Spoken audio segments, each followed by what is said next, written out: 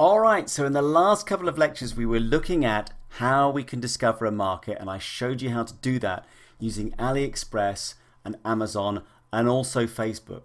And now what we want to look at is what are the products that we're actually going to sell within those markets and how are we going to decide if it's really a product that will sell. So these bullet points coming up here on this slide are key to this business model. Make no mistake, all right? So I want to go through each one. It's going to give you a really good insight in what you need to do in terms of product selection to make sure what you're looking at will actually convert into profit for you. Now, the first key point is price. All right, we are talking here about buying something on AliExpress at $4 or less and selling it at 15 to 20. So a significant markup. Now there's a, there's a, there's a really good point about the 15 to 20 dollars here is because this is an impulse item. If you're going to buy something for $1,000, you're going to spend time researching, you're going to talk to people, you're going to, you know, not just going to buy it just like that. But at the sort of $20 mark around that area, people will buy stuff on impulse. I'm sure you've done the same thing. Some people maintain that $50 or $100 is maybe an impulse item, and sure, go ahead, see whether you can actually do that. I play around this kind of $20 mark. I feel for me that's kind of like a sweet spot. Now, you know, buy at 4, sell at 20 is key. I've seen people trying to buy at 4 and then sell at 6. And sure, it's kind of interesting because they've got a price point which is very competitive. So they get lots of sales, but there's so little room to create a decent profit, especially by the time you take away your advertising costs, etc that you literally need to sell thousands and thousands of products to make a decent amount of profit. So all you're really doing is kind of processing orders, you know? It's not a great business model. It's more of what I call the busy fool, rather than you know intelligently up, uh, building up a profitable market. So buy at four and sell at twenty.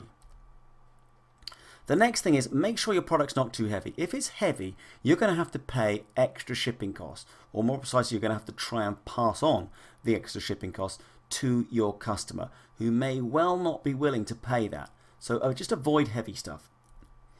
Also, avoid stuff that's too fragile. It would seem pretty obvious that if you, you know, ship something that is, is fragile, it could break in transit. So when your customer gets it, you know it's it's it's broken you're going to get more refunds you're going to get more returns you're going to get more customer complaints. So just avoid that. Take away that hassle straight away.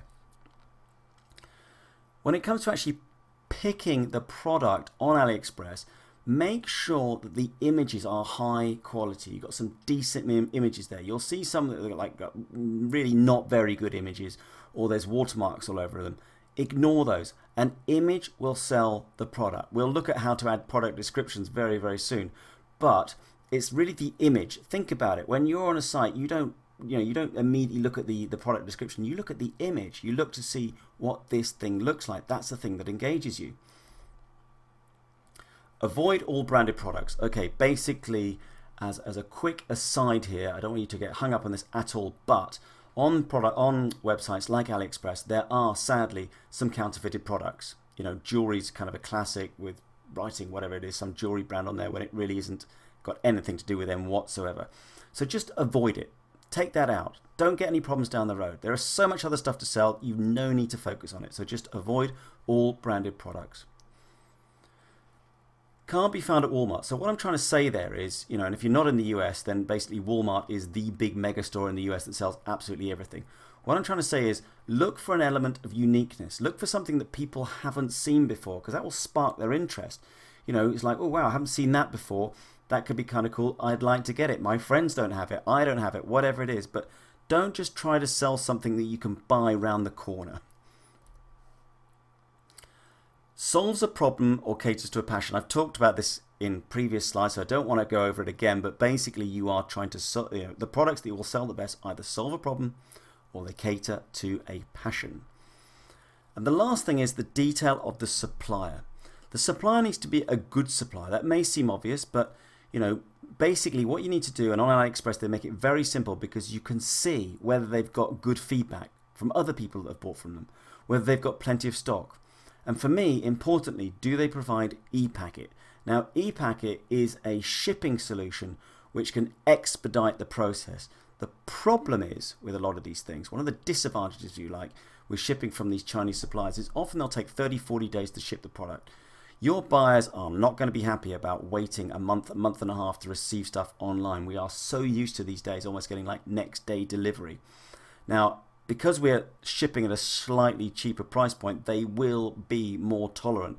But ePacket enables you to ship stuff in maybe 5, 10, 15 days, something they will be more happy to accept.